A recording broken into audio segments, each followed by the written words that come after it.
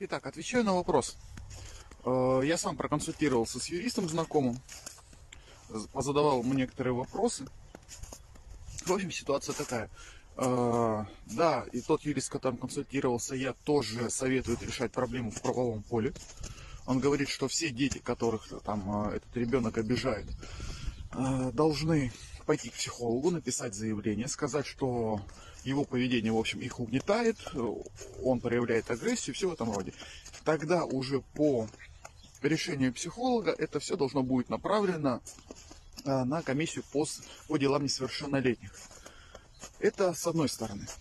С другой стороны, безусловно, я начал задавать и некоторые другие каверзные вопросы по поводу реальной судебной практики.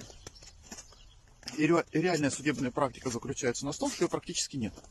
Дети не обращаются в, э, с побоями, дети... В общем, о чем я хочу сказать? Что если вдруг, то обычно ничего не происходит. В большинстве случаев, в подавляющем большинстве случаев, никогда до судебных дел а, драки несовершеннолетних не доходят. Но я опять-таки э, поспрашивал да, про реальную судебную практику и сам поинтересовался э, за реальную судебную практику.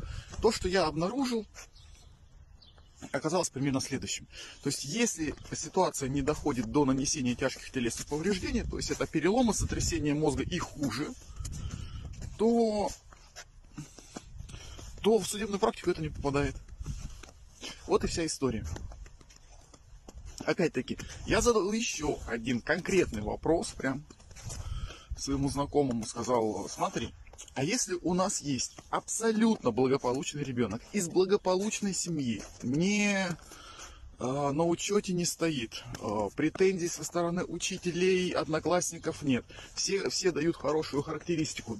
Если он даст сдачи и даже поставит там этому мальчику синяк или там э, каких-то пару гематом, не очень страшных, и вдруг этот мальчик с его папой окажутся последними, собственно говоря, нехорошими людьми, как скорее всего оно, возможно, и есть, да, и побегут все-таки в полицию а, снимать побои, что грозит вот этому мальчику А, из благополучной семьи, да, или другому а, ребенку, который дал сдачи. А, В самом худшем случае это будет а, штраф, поскольку родители несут ответственность за детей а дети у нас несовершеннолетние, да, то есть они вообще, то есть, ну, не подлежат уголовной ответственности. А, Так вот, это штраф от 300 рублей до 1000. А, Плюс, э, грубо говоря, на галочку семью поставит вот та же самая комиссия по делам несовершеннолетних, но как она это сделает, да, то есть, ну, как на всякий случай присмотреться, да, там так, то есть придут, то есть в самом, са- вот я сейчас описываю самый плохой случай, вариант. То есть они придут, несколько раз проверят, все убедятся, что семья благополучная, и опять-таки снимут э, ребенка с учета, и, и, все дальше будет отлично. То есть в реальности последствий для э, благополучного ребенка там минимальные. То есть вот просто вот эти вот неприятные все аспекты могут быть. И все. Ну а здесь опять-таки на чашу весов, да, выбирайте. А что будет? Конечно, конечно, да. Юрист мне а, сказал, что, ну понимаешь, бывают вот такие случаи. То есть он, э, этот мальчик упадет, ударится затылком, там непонятно что, да, там в драке. Я еще, я, я, честно говоря, за всю свою э, жизнь не видел ни одного человека, который бы а, именно иметь своего ребенка, который бы падал, там ударялся затылком и от этого умирал или еще что-нибудь с ним случалось, да? Вот мы говорим вот прям, прям, прям та- про такие тяжелые случаи. Но с другой стороны, опять-таки, для, что я хотел бы сказать родителям, ну, у вас есть выбор, да? То есть, если вы уж такого боитесь, у вас есть выбор, а ваш же ребенок тоже может упасть, да? Когда этот мальчик там будет их обижать, он тоже может упасть. Он тоже может удариться там головой об угол парты. Так что здесь взвешивайте, собственно говоря, именно вот с правовой точки зрения, что, что, что вы хотите. А, Если мы рассматриваем именно сам тренинг, да, поможет он ва- вашим детям или не поможет, то я м- мог бы сказать следующее. То есть ваша ситуация в действительности для того, имеется в виду для того, чтобы научить детей давать сдачи, очень хороша. У вас есть организованный коллектив, то есть у вас есть, а, за, за, замотивированный коллектив детей, у вас есть, б, замотивированный коллектив э, взрослых. Одна из лучших технологий, которую я описываю э, в своем курсе, э, с помощью которой можно научить детей давать сдачи, это технология именно коллективного обучения, то есть э, обучение в группе. И здесь не надо мучиться, да, здесь, здесь уже почти что сформированная группа, вы можете взять, организоваться. Э, все вместе, прям все вместе, э, несколько человек, то есть организоваться в группу, организовать этот небольшой курс, научить детей давать сдачи, но мало того, в этот курс можно добавить один маленький, маленький элемент, но очень полезный не просто давать сдачи, а приходить на помощь. Вот точно так же, как мы в этом курсе даем репетицию того, что вот э, ситуация X, все, распознали ситуацию X, и ребенок дает сдачи. Здесь то же самое. То есть, а, ситуация X или мне дает, то есть или я э, участвую в конфликте, или кто-то другой участвует в, конфликте, кого надо защитить. И все автоматически все, кто участвовал в тренировке, приходят к нему на помощь. То есть, по крайней мере, в классе, в самом в школе, где есть рядом другие дети, которые смогут быстро прийти на помощь, вот такое безобразие прекратится.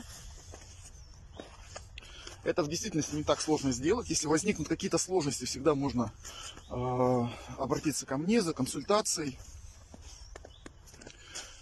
Э, я уже распишу, как это сделать подробно. Ну, в общем, я думаю, даже этого мне не, не потребуется, поскольку в курсе достаточно все э, доходчиво описано. То есть единственный элемент, который-то надо будет э, добавить, что если вдруг обижают не только меня, а я вижу, что обижают кого-то из нашей команды, из, да, скажем так, из нашей команды самообороны, я тут же на автомате прихожу на помощь там урок, не урок, то есть можно выучить для любой ситуации.